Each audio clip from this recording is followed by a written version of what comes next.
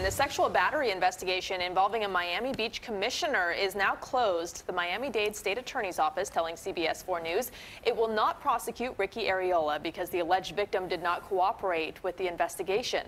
Last month, the woman filed a complaint saying Arriola sexually battered her while they were on a date. Arriola has always denied the allegations, and just a short time ago, he released a statement saying in part, quote, I have always contended that these allegations were patently false and were simply an attempt to tarnish my public image. We now know that this complaint should have never been filed in the first place. Still